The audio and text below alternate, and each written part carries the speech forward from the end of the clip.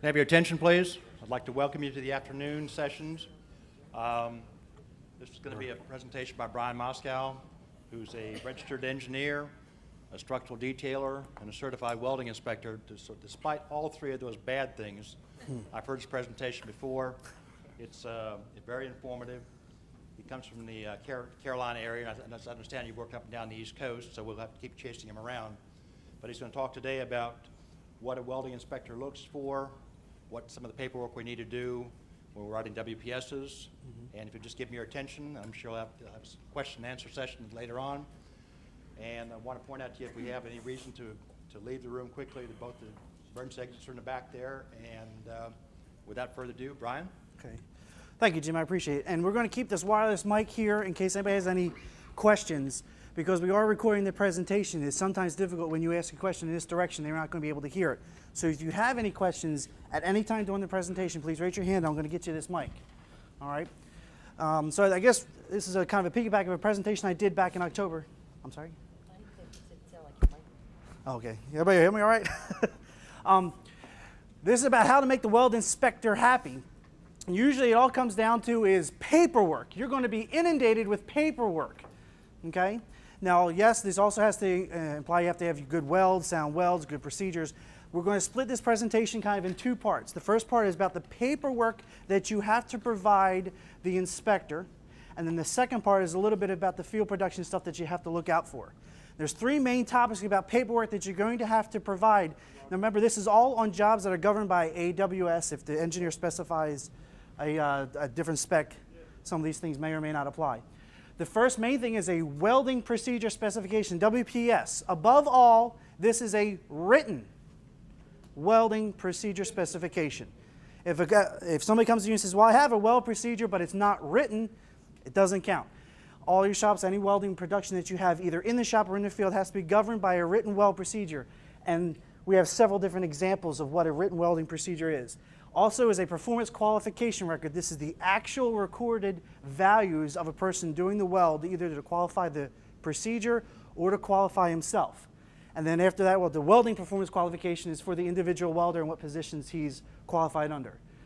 Okay, the first thing we're going to talk about is a welding procedure specification. AWS, in their infinite wisdom, decided they're going to create their own welding specifications that you can purchase for them at a nominal fee. And then you are uh, licensed, these are like site licenses, you can pass these around the room if you like. You are licensed to use these standard written well procedures either in the shop or in the field. The kind of the comeback on this is you have to use their amperage, their, their voltage, their weld pass heating requirements. Yes, sir. Are those welding procedures, because we purchased some of those welding procedures, if I welding, Sorry.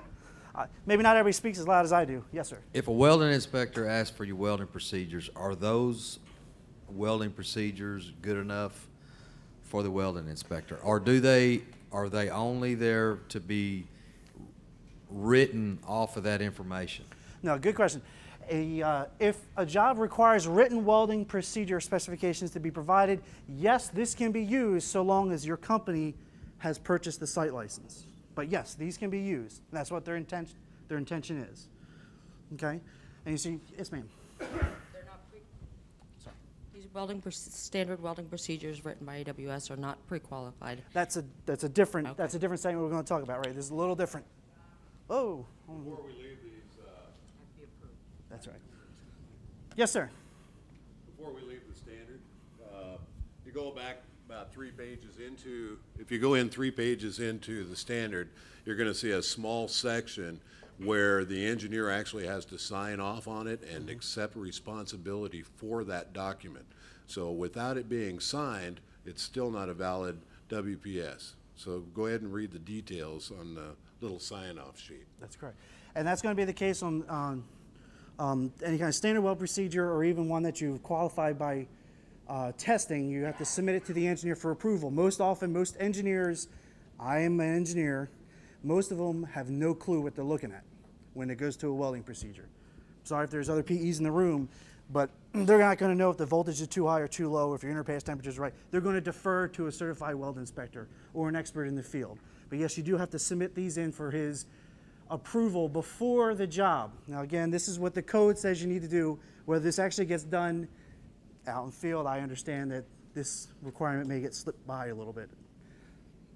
Next thing we're talking about is inside the welding procedure specification. This is a pre-qualified WPS. One method you can do to get a written weld procedure is you purchase it from AWS. Next one is you get a CWI or someone qualified to write procedures to write one for you. There's not qualified by testing or anything. He gets a piece of paper, sharpens his pencil, and he writes down through experience or education different requirements, the maximum electrode diameter, what kind of current you need to use, uh, fill pass thicknesses, and you can, uh, because you look in the code book under Annex Q, that gives you a list of all the requirements that have to be listed on a pre-qualified weld procedure. Okay. Now, interesting enough, this doesn't necessarily have to get approved by the engineer. A pre-qualified doesn't. Now, there's a little, it may sound a little upside down, is AWS provides a standard weld procedure, and they have dozens of companies backing up on providing uh, qualification record tests, and they've been reviewed by dozens and dozens of people, yet that still has to be reviewed by an engineer. With a pre-qualified written by one guy, he don't have to get approved by an engineer. That seems a little bit upside down to me, but that is kind of what the code presents. Um, the next type of welding, written welding procedure we have is one qualified by testing. That is, let's say if you purchase a site license of one of these standard weld procedures and it doesn't exactly match what you're comfortable with in your shop, or you don't have a CWI or another welding engineer close by that can write a pre-qualified weld procedure for your own, or you're just doing a, non-standard pre-qualified connection or a weird application, you can qualify your own procedure and there are several different types of tests that you would have to do, but you come in with, you know, everybody's seen these little test plates. You run your groove, depending on what position you're in, you run your welding, either welding wire or stick weld in there, and your inspector comes in, cuts coupons. He can bend them into different shapes. You can pass these around here too, but you guys probably all seen these coupons before. And if you're qualifying a procedure, you have to get it either X-rayed or UT'd, and you also go through what's a tension test. People call this dog bone, where they cut this out of your plate and then they you know, mill to a certain shape and pull it and pop it, and you have to check the uh, types of failures it goes through and where it fails. You guys can pass this around. These are a little sharp. Please be careful. Okay? And other requirements, if you're doing a qualified by testing or after you run your bead, your uh, CWI or welding engineer has to make sure it passes a visual test. and say it goes X-rayed or UT'd, and then depending upon its thickness or your position will depend if you have to go through a side bend or an overhead bend, uh, or a side, a side bend or a root or face bend. And then we talked about the reduced section dog bone. Also, in some applications, you would have to do a certain macro etch. Yes, sir. I don't have the microphone. Yes. Uh, What is your personal opinion about those? I'm sorry. Can you take it? On the standard welding procedure, what is your personal opinion relative to those? As about their effectiveness, by personal opinion, they, they're pretty effective, but you're limited. You have to use their parameters, and if you're comfortable with it, I'm pretty comfortable with their standard weld procedures. They've been used by quite a number of fabricators. Um, if you're not so comfortable, you're more than welcome to have somebody write a pre-qualified one or do one by testing. Is there you have a little bit of un, uncertainty about them? No, I just wanted your opinion on. Okay. One thing also you notice that AWS, as far as I know, does not produce a standard weld procedure for MIG welding. Oh, oops, that's a big hole. okay. You can get some for stick, some for stainless, some for sheet good, uh, sheet metal, flux core, but not MIG welding. Yeah. all right. And I'm sorry. These are all tested by PQR. Yeah, yeah. AWS ran all these PQRs and stuff. Yes, ma'am. Yeah, wait for me to run the mic here. I I just wouldn't want anyone to walk away thinking you can't do a solid wire in structural. You can certainly test for it, and even do short circuit and test for it. Uh, Yes, uh, that, that is true. You can do a pre, uh, a- you're pre-qualified for wire welding or qualify by testing wire welding, except the, sh- uh, short circuit is not a pre-qualified process. That's right, but you can still test for it and still use it. Yeah, you can still test for it, you can still use it. I'm not sure how many here is doing like short circuit MIG welding. Judy. Uh, probably not too many. Yes, sir. You are using some short circuiting? No, I just wanted to make sure that we mentioned that the standard uh, procedure, welding Mm-hmm. from AWS is only good for building D1.1, not D1.5. So That- we don't want anyone to think they can use it. That, that's absolutely, that's absolutely correct. You make sure any standard well procedure you buy from AWS, either is D1.1, but they also sell some D1.3 standard well procedures or some aluminum or stainless as well.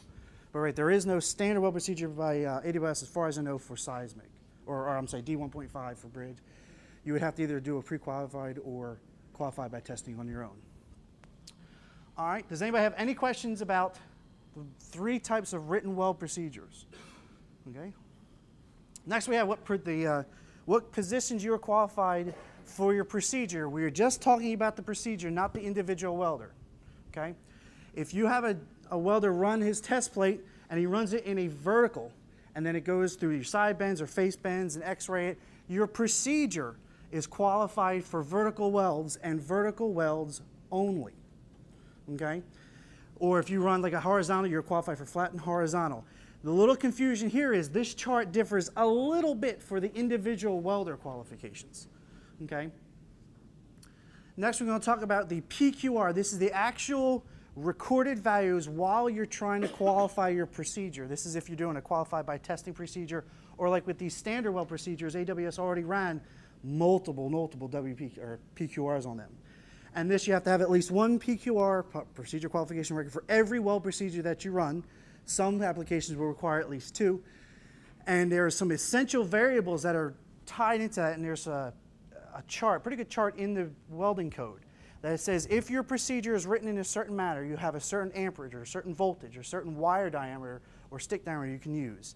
You can use this procedure so long as you stay within plus or minus 10% or plus or minus an eighth of an inch. There are certain allowances they give you so that you can still use this procedure. If you fall outside of that, let's say you're running at 25 volts, but you want to run at like 29 volts, you've gone outside of the procedure, you have to requalify the procedure, okay, and the welder to that procedure, okay? And like I said, on the, on the PQR, this is the actual written record, includes some electrical parameters, shielding gases, some other items. Next is our welding performance qualification. This is the actual recorded values of the welder as he's trying to qualify towards a procedure. Okay, I know we're talking about a lot of paperwork flying around here, but does everybody follow that so far? The procedure is a piece of paper that's sitting in a filing cabinet somewhere in the office. Okay, or hopefully it's that's, you know it's out by the welding machines or readily available to the welders. But that qualifies the company to do this procedure, that process, that position. The welder performance qualification is the actual recorded values of the welder trying to qualify to that procedure. And on that, also, you have to pass a visual test, face and root bands, macro etch. And here I want to talk a little bit about the difference between a qualified welder and a certified welder. The language in the code is a little confusing. Okay? If uh, maybe you might have some of the welders go through like a, like a junior college or a technical school, and they'll get out of their school, they do a whole bunch of tests, and they give them a little diploma. And a lot of times these vocational schools will tell you, hey, they're certified welders. They are not. They are qualified. Okay? Qualified has a very specific meaning. Now, if you look throughout the code, they use the term qualified. You have to do a bunch of qualification tests. What certification is, is the piece of paper that is signed off by your, your contractor, your fabricator, or the, the CWI does the test. Okay? Here's another big question is, let's say I'm off working for a fabricator and I get a welding or a certification with that, that, um, that fabricator. I leave that fabricator and come to another one and say, hey, I got papers, I'm certified. He's not. He's not certified for his old employer anymore. He may be qualified to weld, but that paper certification is only good for his employer. So if you hire a welder who is certified with a different employer and he goes to a new employer, any questions? No, actually, I encourage it all, please. I'm right, doesn't the code allow uh, one engineer to accept from another area? And of course, there is AWS has portable certification as well. I'll bring that up. Sure. Yeah, and actually, uh, in almost all cases, the engineer record can kind of accept any certification. Like I said, most engineers I run across probably won't because they're not sure what they're looking at. But we're talking about if we're doing certifications either with a fabricator. Now, if you go, AWS has a program that you become a certified welder. You go to a AWS accredited test facility. Okay? and you do a bunch of weld tests with them. You get a little laminated card with your picture on it, and it has the weld procedure written on it that you tested and were qualified and certified to. Now that card can go with you, and you can, sir, you're a certified welder, and you can certify for yourself. You can go to a fabricator or contractor, and he can accept that as certification, so long as you're still using the same weld procedure. Now, if that fabricator has a different weld procedure, you may have to use a requalify under that fabricator's parameters. Does that make sense so far? It's a little confusing. Okay. It should be made a lot simpler, right? Okay. Okay. Next, I'm going to talk about when a welder performance qualification. The individual welder welds in certain positions. Remember, this is different than the procedure. If he welds in like a flat or a 3G position and he passes, he may be qualified in the flat vertical and horizontal positions. And most often, you guys, if you want to weld in like all thicknesses, all positions, you're going to run like a 3G and a 4G test. Not a quality follow you for most all positions. Or sometimes people run a 6G or 6GR that'll run you one test. And also with a welding performance qualification, a very a big important thing, in order to remain certified, you have to make sure that you maintain continuity welding on that process for no more of a lapse of six months. A good way to ensure that is to keep a continuity report. Okay? Now, here's a big thing. Certified records whose effectiveness has lapsed, their certification expires. Not their qualifications, but the piece of paper that have has lapsed. Now, to help avoid this, you really should have a continuity record for all of your welders throughout all their jobs that they work on. Okay, that is the first half where we're talking about a lot of the paperwork that is required. Does anybody have any questions so far about that? But we have the three types of well procedure, standing well procedure, pre-qualified, and... What does the continuity report require? it just says a continuity report, and there's no really format given. A lot of times AWS on the back of their code gives you suggested forms for their paperwork. There's not really a form or a format for continuity report, but they're just looking at this welder is welded with this process. Probably every job that he uses, you write down he used this process over these dates. for every six months? So long as there's not a gap of more than six months. Now, Right. you said that they're still certified, or they're not certified, but they're still qualified. Yes. But four point one point three point one says that the qualification Mm-hmm. will remain in effect. It doesn't say the certification will remain in effect. That's right. So I'm thinking that verbiage says that they're not qualified after a six-month lapse. Well, most often, if there's a six months lapse, it's not six months in a day, it's four years or five years. I mean, it's, it's usually a little bit longer than that, and you would have the guy go through and qualify his record procedure again and recertify. But, and if you look throughout the code, it uses qualification everywhere. They don't use the word certification. So it might cause a little bit of confusion. Like a driver license, after five years, y'all will still be able to drive. But as soon as your license expires, you're not licensed. You know how to drive, but you don't have a license. That's right. You You gotta retest. The next few topics I want to talk about are, you know, some certified tack welders, roof, deck, joist. And first thing I want to talk about is a certified tack welder. Yes, there is such a thing as a certified tack welder. And yes, your fitters in the shop are required to be one. Now, if you're a qualified welder, or I'm sorry, if you're a certified welder in certain positions, you're already taking care of tack welders. This is just usually for your fit up guys. Okay? This must be welded according to a written weld procedure. Okay? And this is a little, eh, a little dicey. I'm not sure how many people have certified tack welders. if you're going to weld up like a moment connection, you're going to tack weld the backing bar. If you're going to have the tack weld on the inside or incorporated into the weld, you have to make sure that the tack weld passes a visual test before you run your root. And you have to be very careful that you may be required to remove your tack welds by the engineer. Most engineers probably won't require it, but is language in the code that may be required to remove your tack welds. Now, if you're incorporating the tack welds into your final weld, it has to make sure that it's according to the same procedure that you're going to use for that final weld. Like if you have a, a complete joint penetration weld procedure, your tack welder has to make sure he follows those electrical parameters, that uh, rod or wire. to become a certified tack welder, it's a real technical, complicated test. You take this, well, this isn't exactly the size of steel that you use, a couple half inch plates, you weld a two inch long bead, quarter inch weld, and you put it upside down like this, and you hit it with a big ass hammer. And that's the technical term, big ass hammer. You have to you look at the weld break, and the guy can evaluate it to see if it passes or not. And also with a certified tack welder, he's certified in that position only. And a lot of things I want to make sure we talk about. If you are laying a piece of plate down and you're tack welding it, that's a horizontal position. That is not flat. Okay, is everybody fine with that? If I run that weld be right there, that is a horizontal position. If I run it like that, that is flat. See the difference there? Yeah, they're talking about the face of the weld. So a certified tack welder is only certified in the position in which he tests. Next, we're talking about welding roof and floor deck. There's used to be a whole lot simpler than it is right now. Uh, I gave a similar presentation to this back in October, and um, the types of rods and wire that you can use was a little easier. But uh, Vulcraft and some other companies in their infinite wisdom back in October decided to change a lot of the graded deck they're using. You know, they think, well, hey, well, let's make them a little bit stronger. They made their deck a little higher grade so that they can span a little bit further, have a little bit higher design values. I think that's great, except now they make the welding requirements have to match. Okay?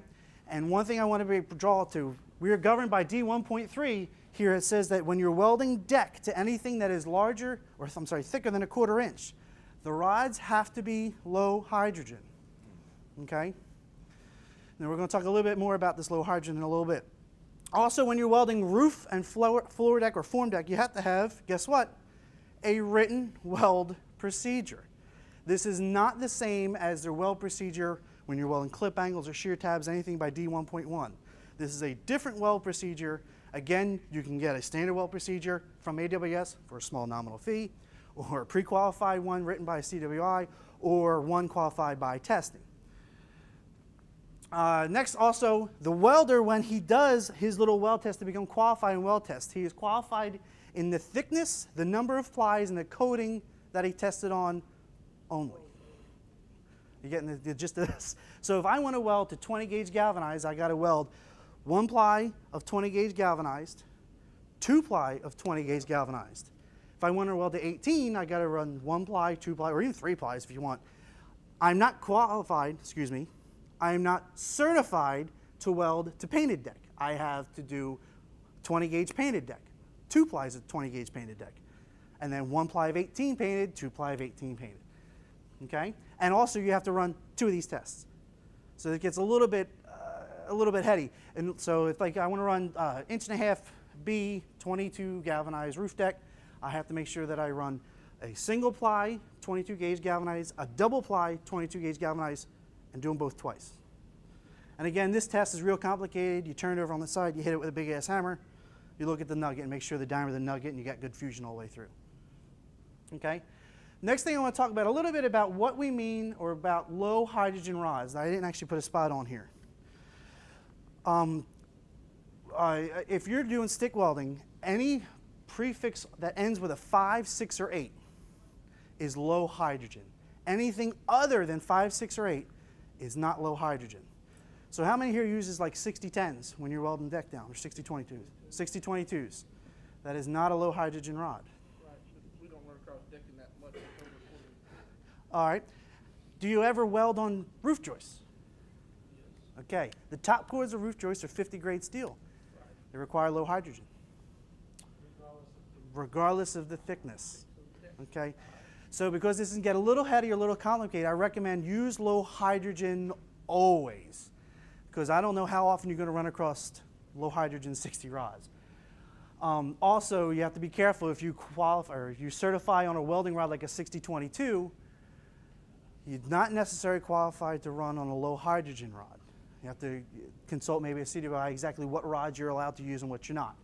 but also, when we're talking about low hydrogen rods, there's something very specific about electrode storage. Now, the code is pretty clear. I don't know how many two people are following this. When you take a hermetically sealed container, your low hydrogen rods must be kept sealed. As soon as you crack that seal, got to put them in the oven. Okay? And at any time that they're exposed, depending on the quality of the rod or anything, up to nine hours. If they're, if they're exposed for up to nine hours, you have to put them back in the oven. Now, I want to make sure this is called a holding oven. We're not baking them. About 250 degrees, you have to hold it for four hours before you can use it again. Now, I know a lot of times guys will crack open the seal, put a couple rods in their pocket, and they weld with it.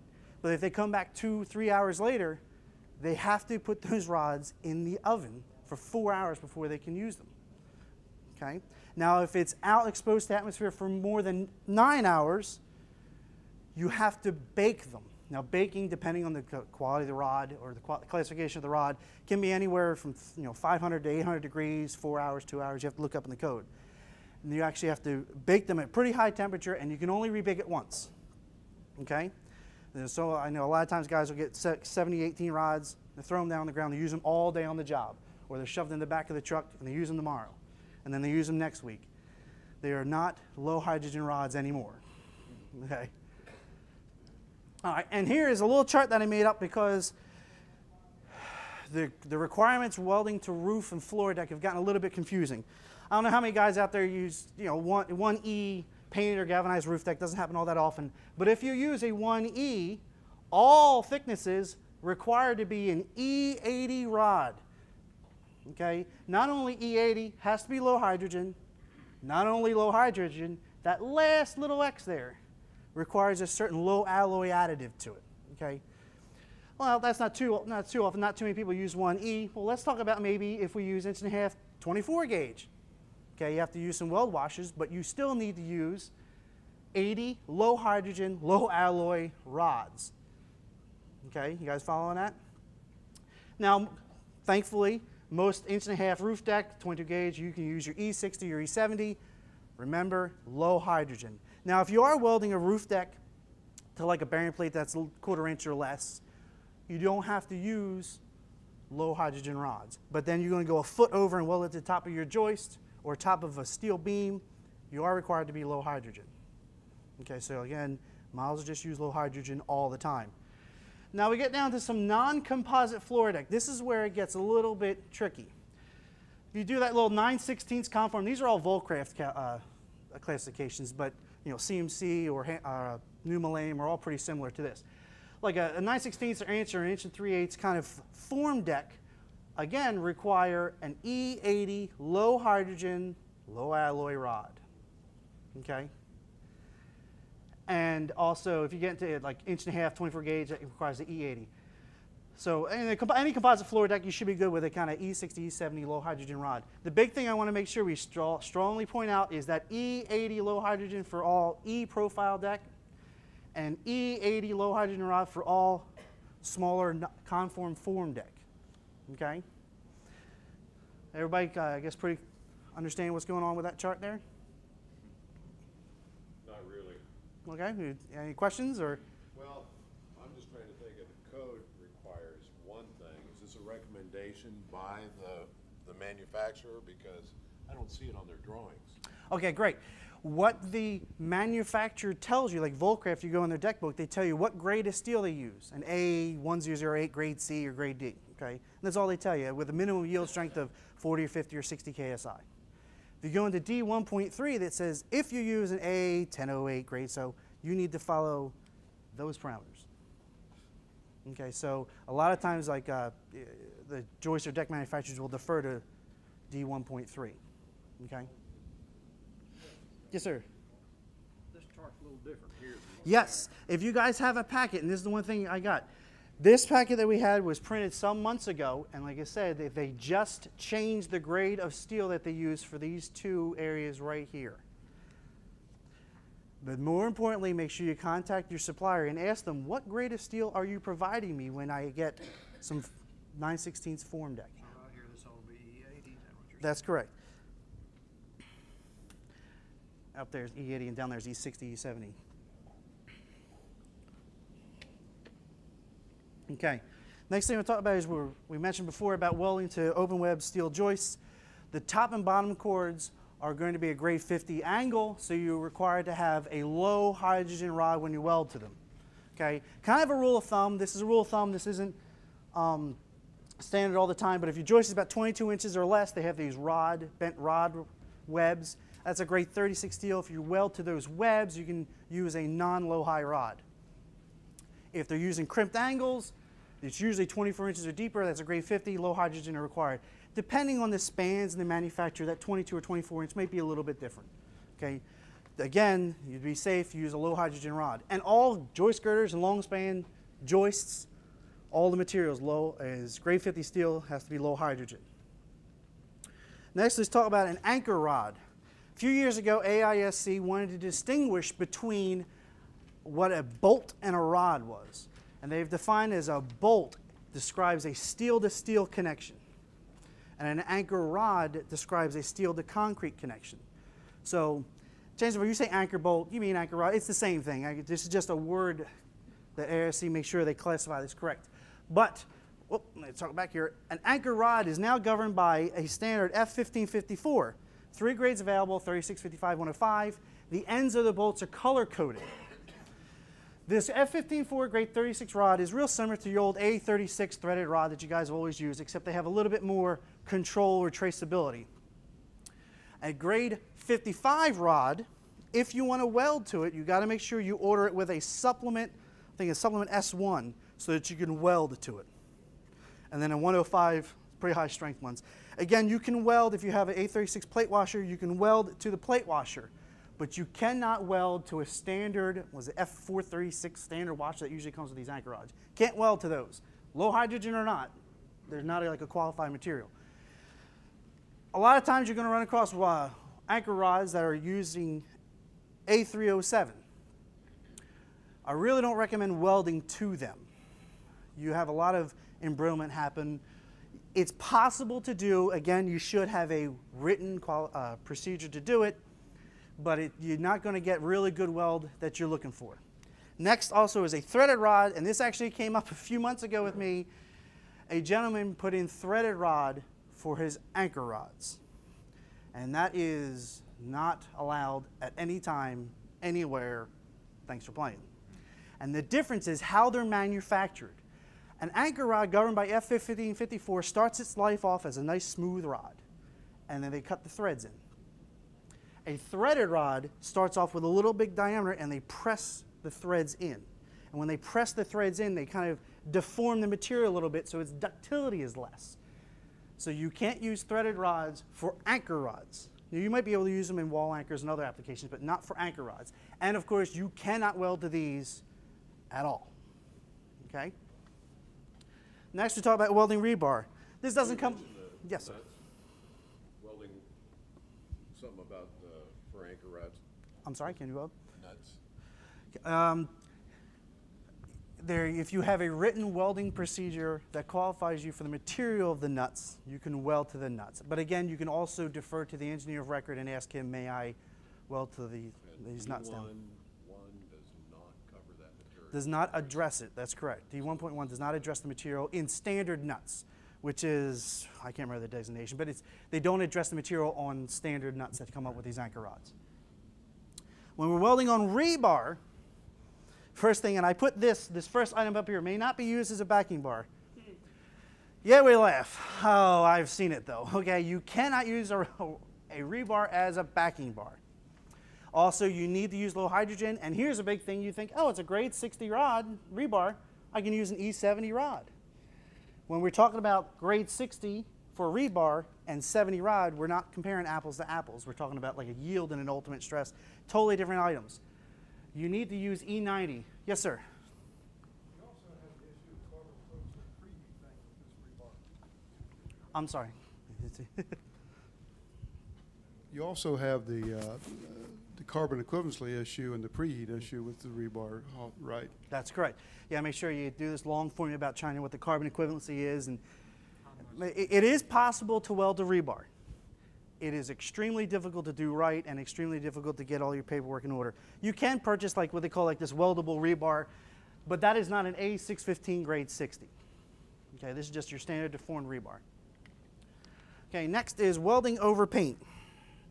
No such thing as a weldable paint, no matter what a paint salesman tells you. Okay? There is no such thing. However, you can weld over a thin film of rust inhibitive paint, but they never give you how many mils or how many thicknesses you can weld through. Okay? You know, you're going to weld some little bead like thin weld paint, you can weld through it. That's really not too much of an issue. But the best to avoid the problem ever coming up is to not weld over paint at all. And of course, you cannot have any paint within two inches of a complete joint penetration weld. Okay? Does anybody have any questions about that second half that we talked about? Some of the tack welders, welding the joist, welding the deck, welding rebar. Anybody have any questions? Yes, sir. This is going back to the same thing. What about welding over galvanizing? You have to actually, cannot weld over galvanizing.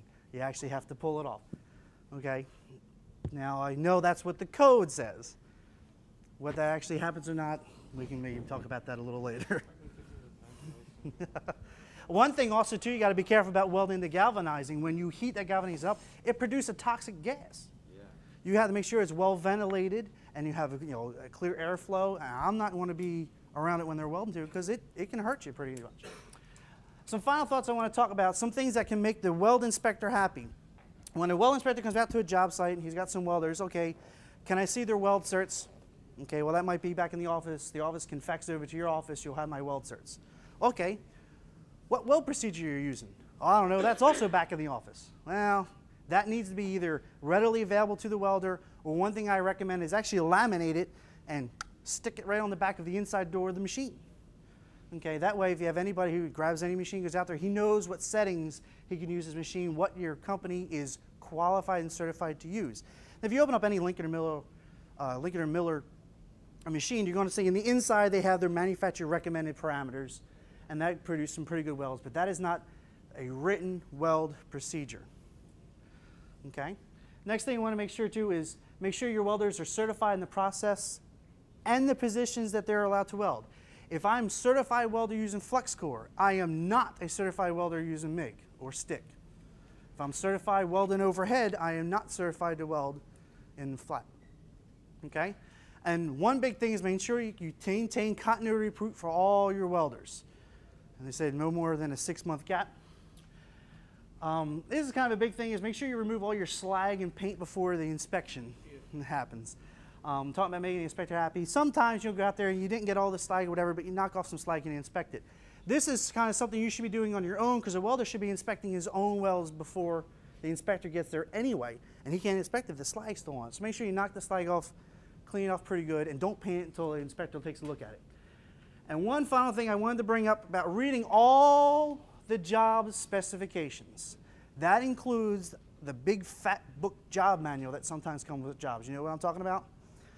I have a sample of a uh, particular job that happened a few months ago that, a that a, an erector got hurt on, and I just wanted to read a little bit to you. This was not on the drawings. This was not in the contract drawings. This was in that project manual, and it was buried in there.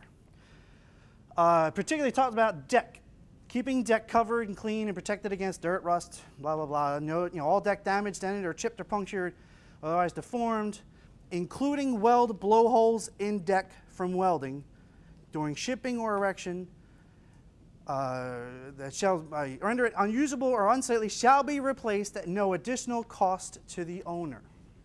Okay, I'm not done. The owner's representative shall be the sole judge as to whether metal roof deck must be replaced.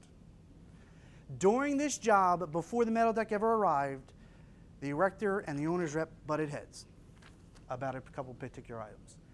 And wouldn't you know, when it came time to put the roof deck on, he was particular about what he wanted. So if you're welding on roof deck and sometimes you're welding down, you miss the top quarter of the joist and just move over an inch and weld again, that's unsightly. And he made him replace it. Mm. To make it worse, there's another thing in here. Next page, bridging. Make sure that the bridging carry out the design, particular visual alignment. Make sure, particularly the visual alignment of the joist and joist bridging due to the structure being open and visible. What this owner's representative wanted the erector to do was to snap chalk lines and run string lines to weld his bridging. Okay? This was a real problem because the front of the building sloped to the back and then the side sloped so it was like a potato chip. Well, the bridging was almost impossible to get straight.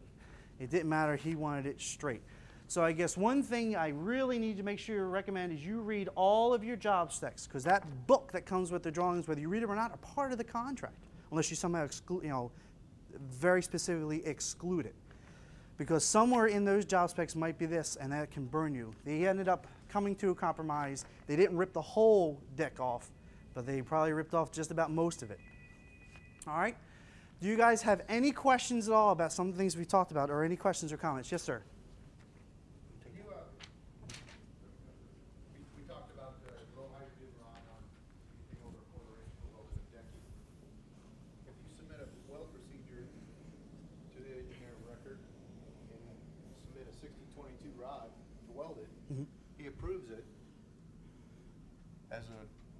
procedure for the project, are you gonna buy it as an inspector on the site? Yes, actually, you can go ahead and submit a written weld procedure that you've gone through all the qualifications by testing and stuff. If you want to um, weld using either non-low high rods or something that's welded to something that's not quarter inch, there is a fabricator nearby where I work who submitted to weld to A992 structural steel um, some 7024s. They actually went through the whole qualified by testing, tensile tests, and all that, and got that approved. However, on every job, they have to submit that well procedure to the engineer of record to approve it, and most often they do. But yes, you can, you know, supersede some of the requirements if you get the engineer to, to buy off on that. Okay. Is there any other particular questions? You say seventy, twenty-four. Yes. Yes. and they went through a lot of testing to get it done. Not using it now. No, not anymore. No, this is several years ago. Yes, sir. I, I don't need a. I don't really expect you to answer this, but why in the world has AWS made this so complicated, so confusing? Because I would venture to say ninety percent of what you just covered does not get done. Oh, I would probably say 99%. Okay. Um, this stuff has been in the code for years. Um, if welding inspectors or other people aren't holding you to a lot of those requirements, they probably don't know about them themselves. Why don't they revamp the code, make it, make it consistent what's going on out there? Well, one of the problems too, also you realize that a D1.1, they're trying to cover everything. And to put that all in one, one book, they have to cover their bases for everything. So if you ever try to find anything particular in the well code book, I have a copy of it, they'll refer you to this spec, and that'll refer you to a table, that'll have a subnote, that'll refer you to another line, that'll refer you to a figure. And that's all throughout the code. I'd love for it to be simpler. I wouldn't count on it in the near future. Does anybody have any other particular questions? Yes, sir. Yeah, what, on, get back to that well procedure. Mm -hmm been told by inspector itself that that was not a well procedure. Which, uh, The ones that you actually, we actually purchased them from AWS, and he told me that was not well you see where it says right on top? Not acceptable. Well, if the Who do inspector, tell- Who do I tell him that it is a well procedure? um, you would actually have to get the engineer record to approve them. Um, But if the inspector's telling me, hey, it's not, then I go, I bypass him and send it to the engineer of record. You can, if you want to piss the inspector off. Well, that's who's telling me that it's not a, it's this, he told me that this was not a procedure. What did he tell you it was? What, oh, okay, This- This was reference material to make a procedure, is what he told me. And you are right, that, that's. a a- procedure. approved by the engineer of record. You can actually read in there, and it tells you it is a procedure. It is a procedure, and they include all their PQRs and stuff that you can call AWS and get research on. If you have an, uh, an inspector who's not accepting that as a procedure, you would have to tread lightly. I mean, you can submit it to the engineer record, and like I said, a lot of engineers of record will just defer to this, the, uh, the weld inspector themselves. Yes, sir. Well, he, he brought up an interesting point. There's many, many inspectors out there that's making their own interpretation of codes. Mhm. I, I impress on all of you, do not, if you know, you know you're right, do not hesitate to challenge. Because it's, it's, in nine out of ten of them, well, lots of times, I say nine out of ten, let me take it back, maybe fifty percent of them, when he rejects that procedure, or rejects that paper, he just wants you to buy his. Well, that- that- I've done that too. But you missed the most important thing I've heard, which says how to make the welding inspector happy. Yeah. Jack Black. Okay, start right there. yes, ma'am.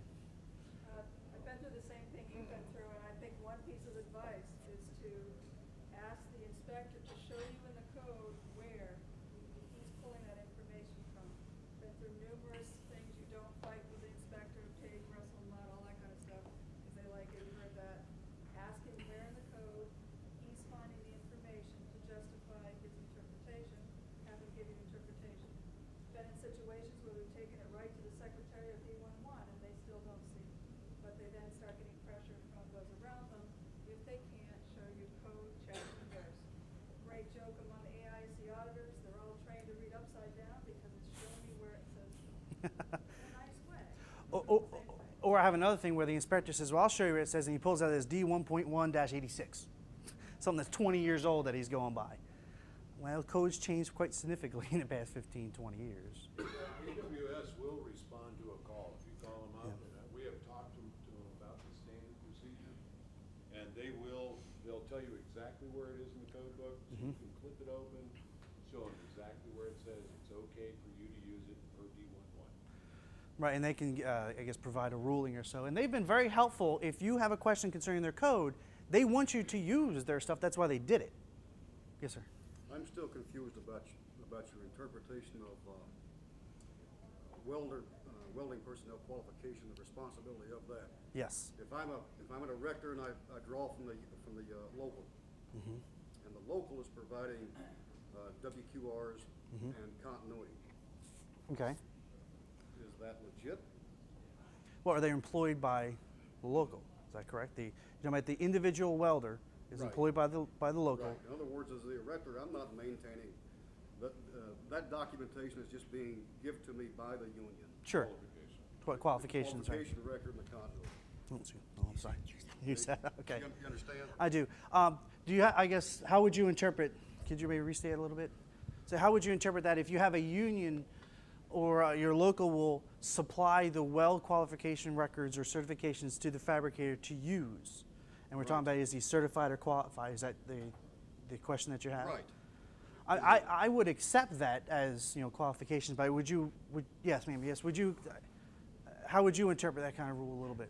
Well, I happen to know the, the ironworkers, the union side has an agreement with AWS. And they all, well, not all, but Uh, some of the JTCs are credit test facilities and they are given the opportunity to put out uh, certifications or qualifications. And the problem is, is that the poor, the poor contractors got to produce continuity. And the iron workers are, uh, their passbooks don't always give that to them. So what I tell erectors is it's your job to come up with a continuity on your own. Whether you take a copy of that passport, whether you keep the welder qualification, qualification test record and you sign it off for the guys that are working for you all the time, that as contractor, you really need to be responsible for that continuity.